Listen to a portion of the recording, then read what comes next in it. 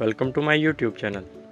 दोस्तों, अक्सर हम सोचते हैं कि जो हमने अपने मोबाइल के अंदर डिफरेंट एप्लीकेशन इंस्टॉल की हुई हैं और उन्होंने स्टोरेज में स्पेस भी ली हुई है तो क्यों ना कोई ऐसी एप्लीकेशन हो जिसके अंदर ये सारी एप्लीकेशन हमें मिल जाएँ और उसका साइज़ भी कम हो तो इस तरह हम अपनी स्टोरेज काफ़ी हद तक सेव कर सकते हैं। तो आज आज जो मैं आपके साथ एप्लीकेशन शेयर करने जा रहा हूँ, वो इसी तरह की एक एप्लीकेशन है जिसके अंदर डिफरेंट एप्लीकेशंस को कंबाइन किया गया है और इस एप्लीकेशन का अपना जो साइज़ है, वो बहुत कम है और ये तमाम जो डिफरेंट एप्लीकेशन आपने इंस्टॉल करनी है अलग अलग अपने मोबाइल के अंदर, वो सब आपको इसके अंदर ही मिल जाएँगे। इस एप्लीकेशन का लिंक डिस्क्रिप्शन के अंदर मौजूद है, आप इसको वहाँ से इजीली डाउनलोड करके इंस्टॉल कर सकते हैं। तो आइए इस एप्लीकेशन को ओपन करते हैं, इसका नाम है स्मार्ट किट मैं इसको ओपन करता हूँ। ये देखिए कि इसके अंदर ये तमाम डिफरेंट एप्लीकेशन जो हैं वो मेरे पास अवेलेबल हो गई हैं। ये देख लें, ये इसके तीनों ने सेक्शंस बनाए हुए हैं। एक प्रोडक्टिविटी एंड यूटिलिटी टूल्स है, एक कैलकुलेटर एंड कन्वर्जन टूल्स हैं, उसके अलावा नेविगेशन एंड मेज़रमेंट टूल्स हैं। तो प्रोडक्टिविटी एंड यूटिलिटी टूल्स के अंदर आप देख रहे हैं कि नोट पैड की एप्लीकेशन हमारे पास आ गई है ट्रांसलेशन आ गया लेटर आ गया है डिक्शनरी आ गई है एक्सरसाइज का हमारे पास आ गया है। उसके अलावा cutter mirror magnifier code scan ये डिफरेंट एप्लीकेशन हमारे पास एक ही कंबाइंड होकर इस एप्लीकेशन के अंदर आ गई हैं। उसके अलावा currency exchange unit exchange calculator हमारे पास आ गया है।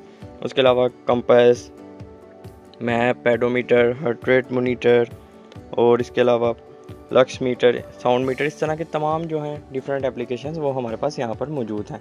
तो आइए इनको चेक कर लेते हैं। अब मैं नोट पैड को ओपन करता हूँ। ये मेरे पास नोट पैड ओपन हो गया। इसके अंदर मैं इजीली जो है अपने नोट्स लिख सकता हूँ।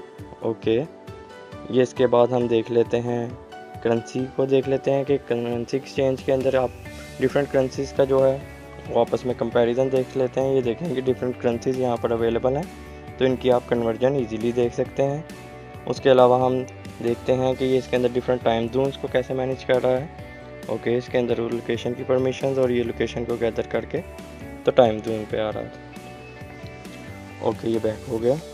इसको दोबारा ओपन किया है। अब इसके अंदर हम देख लेते हैं कि ये साउंड मीटर्स को कैसे डिटेक्ट कर रहा है। तो ये डिफरेंट साउंड जो आ रही होंगी, उनको मैनेज कर रहा है। ओके। अच्छा इसके अलावा इसकी अब हम सेटिंग्स देख लेते हैं कि इस एप्लीकेशन की अपनी सेटिंग्स क्या है। ये राइट टॉप कॉर्नर पे मैं क्लिक करता हूँ। तो यहाँ पर आप देखें कि इसका शॉर्टकट भी बना सकते हैं ताकि आपने इन एप्लीकेशन का कोई शॉर्टकट बनाना है अपने होम स्क्रीन के ऊपर तो वो भी आप इजीली बना सकते हैं।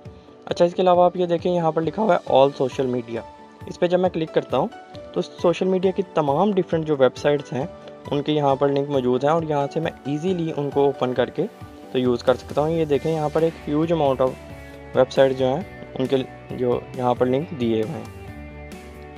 ओके, उसके अलावा देख लेते हैं कि ऑल वर्ल्ड न्यूज़ न्यूज़ की जो डिफरेंट टॉप वेबसाइट्स हैं, उनके भी तमाम यहाँ पर यू ऐड किए गए हैं। और यहाँ से आप उनको ईज़िली व्यू कर सकते हैं। जैसे मैं बीबीसी न्यूज़ को ओपन करता हूँ तो ये देखिए कि इसी एप्लीकेशन के अंदर ही वो ओपन हो गया। मुझे अलग से किसी एप्लीकेशन के अंदर या ब्राउज़र को ओपन नहीं करना पड़ रहा।